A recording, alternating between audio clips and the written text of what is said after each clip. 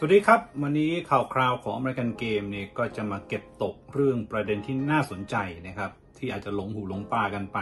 ในระหว่างสัปดาห์ของการแข่งโอลิมปิก ก็คือเรื่องของยูทาห์แจ๊สนี่ต่อสัญญาลอรีมาร์คคาเนนนะครับ ต่อแพงซะด้วย 5 ปี 238 ล้านเหรียญนะครับ หรือประมาณ 8,568 ล้านบาทเลย คือสัญญาเดิมของมาร์คคาเนนซึ่งปัจจุบันอายุ 27 ปีนะครับ มันเหลืออยู่ 1 ปี 18 ล้านเหรียญ แต่ว่าแจ๊สเนี่ยโปะเงินใหม่ลงไป แล้วก็ขยายเพิ่มอีก 4 ปี ก็เอาเป็นว่าถูถัวปีหนึ่งเนี่ย ทางมัคคาเนนเนี่ยจะเริ่มรับเงินปีละ 1,713 ล้านบาทเลยนะครับ เดิมทีเนี่ยมันก็มีการลือกันว่าทางมัคคาเนนกำลังไปที่สนใจ Golden State Warriors แต่ว่ามันก็มีการเกี่ยงกันนะครับ ในเรื่องข้อตกลงข้อเสนอที่แจ๊สนั้นก็เสนอไปแพง Warriors เองก็ไม่ยอม แต่ว่าพอท้ายที่สุดแล้วเนี่ย พอมัคคาเนนมาต่อสัญญากับแจ๊สก็ตัดโอกาสแล้วล่ะครับ เพราะว่าเส้นตายในการเทรดของ NBA เนี่ยมันที่ 6 กุมภาพันธ์ปีหน้า แต่เขามาเซ็นเอาป่านี้เนี่ยตามกฎของทาง NBA นะครับ ก็ต้องรอ 6 เดือน ซึ่งมันก็จะต้องหมายถึงว่าถ้าจะมีการเทรดจริงเนี่ยต้องปิดฤดูกาลหน้าเลย ซึ่งมาร์คคาเนนเอง ก็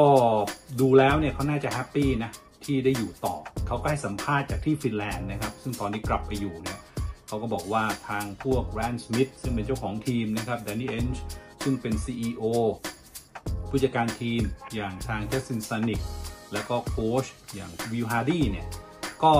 มีการพูดคุยกับเขา แล้วก็ทุกคนนั้นแสดงความเชื่อมั่นในตัวเขา ตั้งแต่ระดับของเจ้าของลงมายันฝ่ายบริหารนั่นแหละ แล้วเขาก็ชื่นชมนะบอกว่าอยู่ที่ยูท่าเนี่ยมันสบายใจดี แล้วก็ทุกคนนั้นก็แสดงออกมาอย่างชัดเจนที่อยากที่จะมีเขาอยู่ด้วย แล้วพอเขาได้อยู่ต่อแบบเนี้ยเขาก็คิดว่าจะทำให้เขานั้นได้เติบโตขึ้น ทั้งความเป็นตัวเขาเอง แล้วก็ในเรื่องของตัวผู้เล่น แล้วก็ในการพยายามที่ต้องสร้างยูทาห์แจ๊สให้กลับมาแข็งแกร่ง2 ปีที่อยู่กับแจ๊สนี่ก็ต้องถือได้ว่าเขากลายเป็นเสาหลักของฟรานไชายไปก็ว่าได้นะครับ เฉลี่ย 24.5 แต้มเลย ซึ่งมันต่างจากไอ้ช่วงที่เขาอยู่กับทั้งชิคาโกบูลส์ อยู่ทั้งคลีฟแลนด์คาวาเลียร์สนะครับ เพราะว่าตอนนั้นเนี่ยเขาเฉลี่ยก็เพียงแค่ 15.4 คะแนนเท่านั้น พอย้ายปุ๊บเนี่ยก็กลายมาเป็นผู้เล่นพัฒนาฝีมือยอดเยี่ยม แล้วก็ได้ติด All-Star เป็นหุ่นแรกด้วยมาร์คคาเนนยังบอกนะครับบอกว่าก็โล่งใจเหมือนกันนะ เพราะว่าที่ผ่านๆมาก็ได้ยินแหละไอ้เรื่องเกี่ยวกับการจะโดน trade นู่นนี่นั่น แต่พอมันต่อสัญญาไปแบบนี้ปั๊บมันก็จะได้มีโฟกัสกับบาสเกตบอลให้เต็มที่ แม้ว่าเขาจะบอกว่ามันไม่เครียด แต่พอตอนเนี้ยมันก็รู้สึกดีละ จะได้อยู่กับทางยูท a h แจ๊สต่อไป ความเก่งเขาเนี่ยก็คือว่าในประวัติศาสตร์ NBA นะครับ เคยมีตัวที่สูงระดับ 7 ฟุต และยิง 3 แต้มลงระดับพันลูกเนี่ยแค่ 2 คน คือเดิร์กนูวิสกี้กับชานิงฟลาย แต่ว่าทางมัคคเนนเนี่ย สามารถที่จะเป็นคนแรกในประวัติศาสตร์ NBA ที่สูง 7 ฟุต และยิง 3 แต้มลงอย่างน้อยๆ 175 ลูก ได้ 2 ฤดูกาลอาจจะมากกว่านั้น 3 มันไม่เคยมีใครเกิดขึ้นมาก่อนนะครับ ก็จัดได้ว่า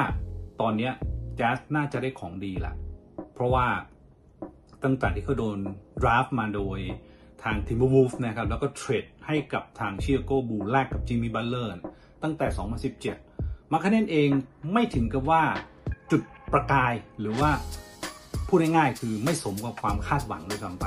มาอยู่คลีฟแลนด์ก็แค่พอไหว แต่ท้ายที่สุดพอมาอยู่ยูทาห์เนี่ยแลกกับโดนวันมิเชลนะครับ ก็กลายเป็นของดีไปเลยก็นั่นก็คือเรื่องราวประเด็นใหญ่ๆ ของผู้เล่นในระดับ All Star ก็ว่าได้นะครับ ซึ่งคงไม่ไปไหนแล้วล่ะ น่าจะกลายเป็นตัวหลักให้กับยูท a h แจ๊สนานอนาคตข้างหน้า ก็เป็นข่าวที่มาเล่าสู่กันฟังนะครับสำหรับประเด็นอเมริกันเกมในวันนี้ครับ